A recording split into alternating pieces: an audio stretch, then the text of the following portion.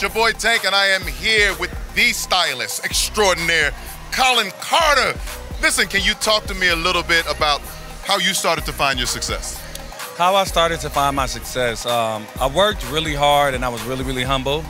I feel like I never felt like I was too big to do any job, so I interned to be in all the right rooms and assisted, and I spent and invested my time and money in test shooting to build my portfolio, and I feel like that eventually ended up being the start of my, you know, what my career is Yeah, now.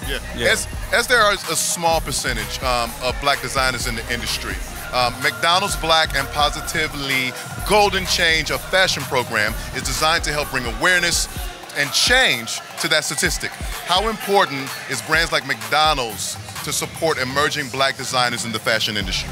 Um, I think I think it's super important. McDonald's is so universal, and I feel like, you know, they're so known to the world, and I feel like, you know, black designers who really don't have that much, um, that much, Notoriety or support? yeah, notoriety or support. Yeah. I feel like McDonald's giving them that stamp is is amazing, and I feel like it's definitely needed. Well, my brother, you are Yeah. killing it. And uh, when you get a Thank chance, hit me up. Throw some fashion my way. I I appreciate got you. you. I Thank got you, for my boy. I'm gonna throw an invoice that way too. Yeah. I'm just playing. Kollin Karter, baby. All right, we are counting down to the 2024 BET Awards. Y'all make some noise one time. It is Culture's biggest night, and we're bringing you exclusive interviews, live performances, and every level of fashion, because that's just what we do, all right? Now, right here on stage, I'm with some of the designers from the Black and Positively Golden Change of Fashion program.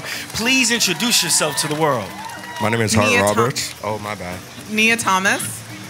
Sharif Mosby. Hart Roberts. I'm Larissa Muletter, founder of Muletter. I'm Darrell Dupart, founder of Freddie Estelle. And I'm Sean Alvin, mentors for the program. Tank, they they stylish, they fashionable, but I gotta know how does it feel for you guys to be part of the Black and Positively Golden Change of Fashion program? I mean, for me, it feels amazing, you know, being black and coming from Richmond, Virginia, trying to show the world my fashion and, you know, you can do anything.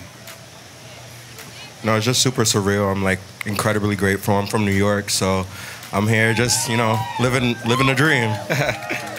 Yeah, it's amazing to be recognized and to be able to show what we can do. So we're really happy to be here.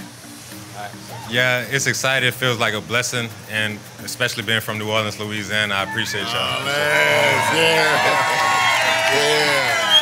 Nice. It's a privilege and an honor to be a part of the program. So any any celebrities that you'd like to see in your in your fashion? Tyler, I'm Rihanna. coming for you. I got the top on. I got a matching skirt for you. Let's do it. Well, I I have a suggestion. If any of you has an extra piece of wardrobe, Tank needs some sleeves because he's making us look bad. I do He's not making me need look bad. So if you got anything in the trailer for Tank sleeves, because I don't want to look bad. Do Tank, y'all what's want me to have sleeves or no sleeves?